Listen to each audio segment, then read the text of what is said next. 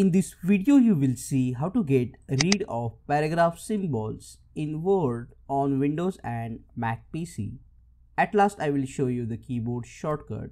These paragraph symbols are also known as Pilcrow symbols and are used in Microsoft Word to indicate the end of paragraph but if you want to remove these symbols from your document you can do the following steps go to the home tab and under the home tab you will see here the option of Pilcrow icon on the main ribbon to show or hide the Pilcrow symbols you just have to click on the symbols to hide the symbols or if you want to see the formatting then you can just click on the Pilcrow icon to see the paragraph symbols. The Windows keyboard shortcut is Ctrl Shift 8 to turn off and on Pilcrow symbols and on Mac keyboard you can use the shortcut Command 8.